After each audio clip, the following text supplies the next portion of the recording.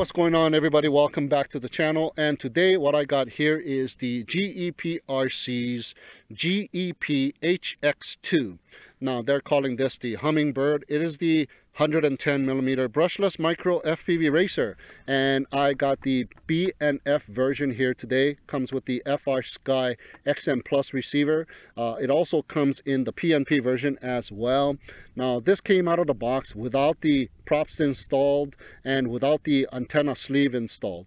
And let me tell you first impression I got was this is a solid build quadcopter. Now it has a three millimeter base plate. Very very tough I can't even bend this thing. 2 millimeter top plate as well as 2 millimeter side plates holding the micro swift RunCam camera up in the front and it is just a solid build. Now i've done a review on its brother slightly bigger than this one. Uh, that one was the geprc sparrow and it was a very good uh, build quality as well. But the only thing that is missing on this quadcopter was the uh, pre-installed Betaflight OSD and that was the only thing that was the minus on this quadcopter here. Everything about it was just a solid build quadcopter but this one now comes with pre-installed Betaflight OSD so that is awesome. We are given some Gemfan 2040 Hulkie props and the motors that we are given here are the GEPRC branded motors and it is the GR1106 6000 kV motors.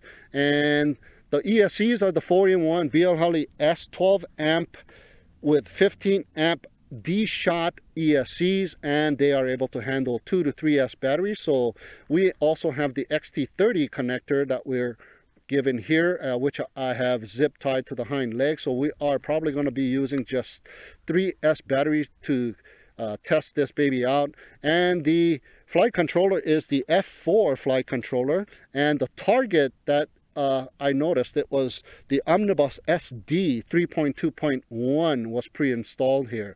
Now this one does not come with a SD card slot. So I guess it doesn't matter if you install the OBSD or just the Omnibus uh, firmware. Now, like I said, it comes with pre-installed Betaflight OSD, so that is a plus. And right above it is the VTX, and it is a 48 channel, 5.8 gigahertz, 25, 100 to 200 milliwatt switchable VTX and we can see that there is a single button to change the channel the frequency and the power output right on the top. Uh, single press uh, changes the channel. And if you long press it you go into the frequency mode and another long press you go into the power output mode and you just single press it to change. Very simple to do. We got a dipole antenna pretty long dipole antenna so that is nice. And the XM plus receiver antennas sleeves were not pre-installed. They came without the sleeves in, installed so you have to cut it yourself and install it. Very nice. Uh, it's got this 3d printed TPU little mount in the back which is very very nice and you push the sleeves in it and put the end caps on it and I just put some heat on it to bend it a little bit so it's not sticking straight up very nice holds the antenna in place very very nice now, like I said, the camera here is the Runcam Micro Swift. It is the 600 TV line, 2.1 millimeter CCD sensor camera, so it should give us a nice field of view as well as very good quality video. And the receiver, like I said, I've got the XM Plus receiver and also, it is right in between the 3D printed mount and the stack and it's hunkered in between sideways. So it was pretty cool. You are able to access the bind button from here. So you don't even have to open up the quadcopter, like remove the top plate or anything like that. So a bind and fly quadcopter right out of the box. And everything else was just perfect right out of the box. The only thing that uh, you needed to do was install the Velcro strap that came in the box as well as the battery pad. It is a non-sleep battery pad. It's got this cutout just like the bottom of the carbon fiber frame. So just unpeel it and stick it on there and you are good to go. All right, so let's check out what else we got in the box. This is the box that it came in. Very nice, small little box. And the quadcopter was packed in right on the top here without the props, of course. And we got a separate compartment on the bottom. There's the um, the battery pad that was there and that little piece that came off of it and this is the remaining of the um, antenna sleeves that I cut off so that came in that little bag there. And we got some allen wrenches here and an extra battery strap. So we were given two battery straps and here are the props that we are given and that is just about it that we got here.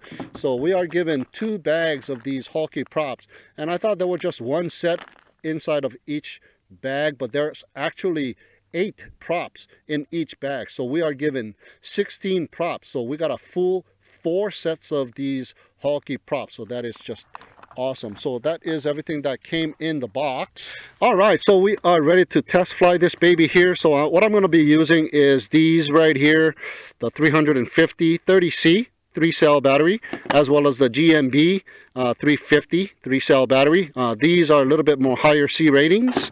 And also I also have the 550 uh, GNB 80C batteries as well. So let's go for a little test flight with the GEPRC's Hummingbird.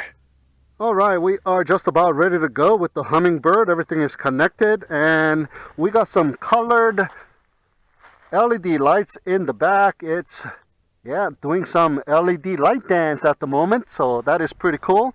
So let's go ahead and check it out. Oop have my throttle up here. There you go. And we are good to go. Starting to get a little bit breezy but I think uh, this hummingbird should hum its way right through this wind, no problem. Check it out. Now, when I took this quadcopter out of the box, one of the things that I noticed was the midsection, the body section of the quadcopter is rather unproportional to the arm length. So I was thinking, oh man, maybe they could have gone with a little bit longer arms and a little bit bigger prop, like two and a half inch prop.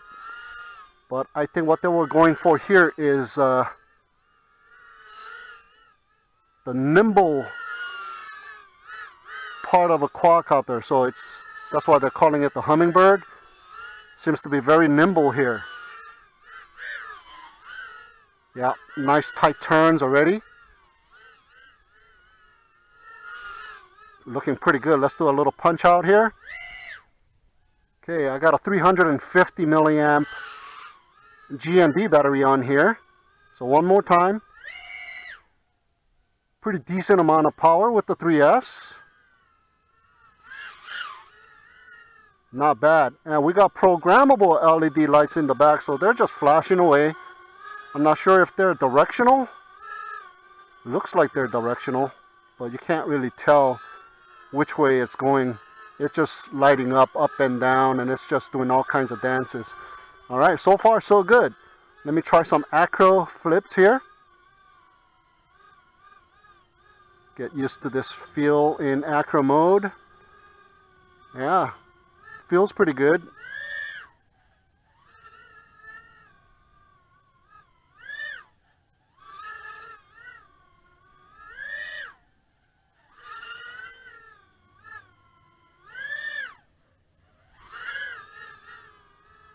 Not bad at all. Yeah, looking pretty good. Looks like it's going to be a very nimble quadcopter. Yeah, like the name suggests, it is a hummingbird and it is just humming. Okay, the battery is just about done, so let's go ahead and bring it down. And there you go. That is the flight time. All right, here we go with our first FPV flight with the GEPRC's Hummingbird. And we have a 550 milliamp size battery. So let's go ahead and check it out. The video quality is looking pretty nice so far. So let's go ahead and check it out. Oh, there's some uh, static interference upon throttle up. So that is not good. But it is feeling very nimble and pretty smooth.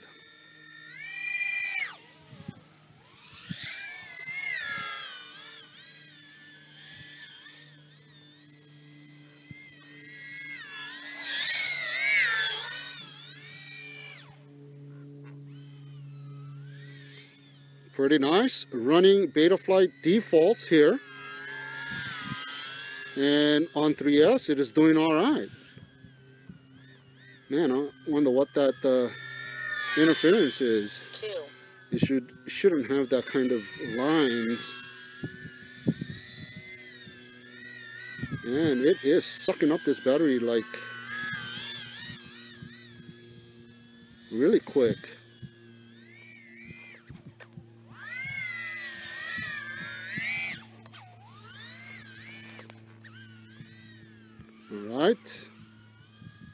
That bad at all. First impressions. It's got enough power. And it is very nimble. But it does suck up that juice. And I do have to throttle up about 60 to 70% to just cruise.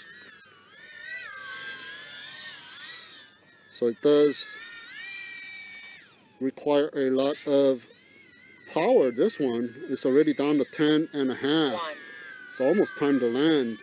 And it's giving me a one minute warning. So I've been flying for two minutes now. So yeah, you don't get a very long flight time with this one here. Unless you're just cruising.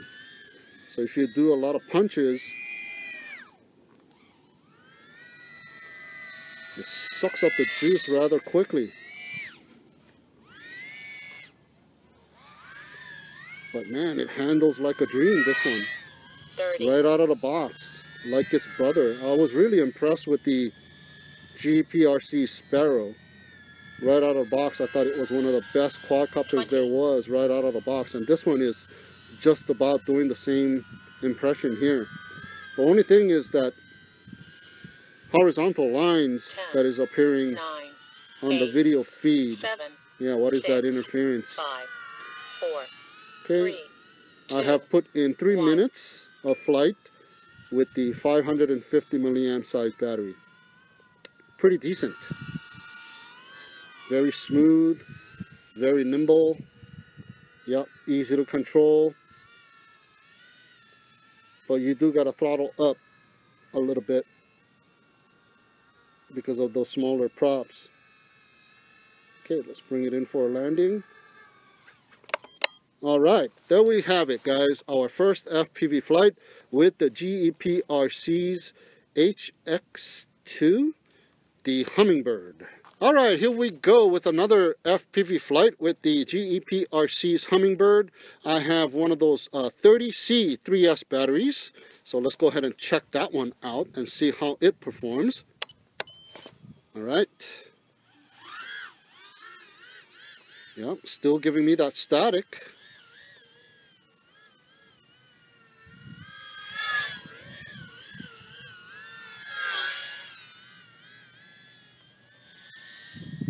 yeah, it doesn't give you a very good amount of flight time, does it?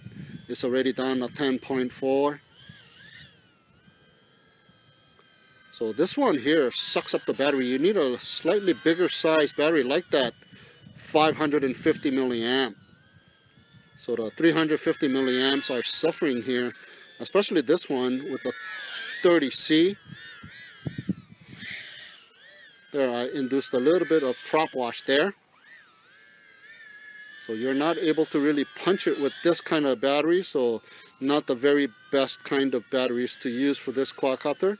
So you need a little bit more premium quality battery for this guy here. All right, so we're just floating around that 10 and a half and I can only cruise and I can't really punch it with this battery here. All right, so let's go ahead and bring it in. Uh, slightly over one minute and it is already kind of suffering already. All right, but what is that static?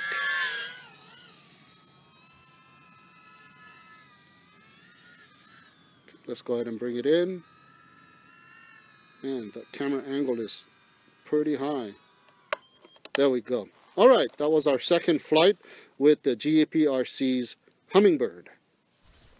All right, just got done checking out the GEPRC's Hummingbird, the 2-inch micro brushless FPV racer. Uh, it did pretty good. I really liked it. Uh, it handles very well, very nimble. It's got enough power with these 2-inch props. Uh, you just got to throttle up a little bit. It does suck up the juice uh, rather quickly. And the build quality on this thing is just awesome. Very very solid. The fpv camera is just awesome. The runcam micro swift very clear very vivid and the field of view is just excellent. And i've flown it with the 350 gnb for the line of sight. Gave me about two minutes of flight time. And our first fpv flight was with this 550 gnb uh, gave me about three minutes of flight time two minutes of okay punching and another minute of just cruising. And with this uh, 350 30C battery generic SPC maker battery uh, 3S uh, it gave me about a little over a minute. I wasn't able to do any punches with this one. So this baby here sucks up the juice a lot. And uh, it flies good though however uh, but it does need a pretty decent sized battery. You can't put a too big of a battery. Look at the 550 milliamp. It just, yeah, engulfs the bottom of the quadcopter. So that's just about the biggest size battery you want to put on this thing. I don't know if you can put a 650. That would be kind of oversizing the quadcopter a little bit. But then again, you know, these props got to work just as hard. So you got to really throttle up to uh, carry that weight the only problem that I have with this quadcopter was the video feed. Gave me a lot of disturbance, a lot of static, a lot of horizontal lines as I was throttling up. So there's some kind of filtering problem here. Uh, the VTX antenna is attached very well. Everything is good, but there's some kind of noise coming through and that is one of the things that some, some of you might not like. You want a very clear FPV quality even though you're throttling up. So this has a little bit of issue with that. Other than that it is just an excellent little quadcopter nice build nice quality camera like I said and it's very maneuverable. And yeah it's just awesome. And the build quality is just great. I cannot even bend this thing. So just an awesome little quadcopter minus the fact that the VTX feed does have interference. All right, so that is my initial review of the GEPRC's Hummingbird, the HX2. Thank you so much for tuning in and watching. Have a great day, and we'll see you again next time.